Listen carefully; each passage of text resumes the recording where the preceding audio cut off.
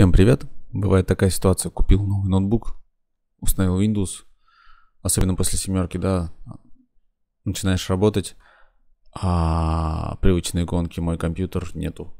Не все знают то, что можно зайти в проводник с помощью вот этой кнопки, особенно те, которые начинают пользоваться. А, по привычному, допустим, даже попал сюда. Думаешь, как вытащить диалог на рабочий стол? Ну, как правой кнопкой мыши. Нажимаешь, нажимаешь, закрепить на начальном экране, пробуешь, пусто. Подключить сетевой диск, закрепить на панели быстрого доступа. Единственное только вот можно опа, и тоже ничего не появляется. Что же делать? Все очень просто.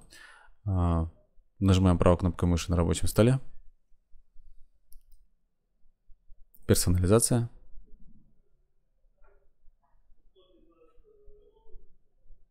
Тема.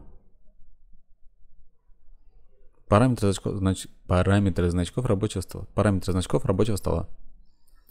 И здесь ставим галочки напротив всех значков, которые вам нужны системных, да? То есть можно компьютер, файлы пользователя, если необходимо, панель управления, сеть и так далее.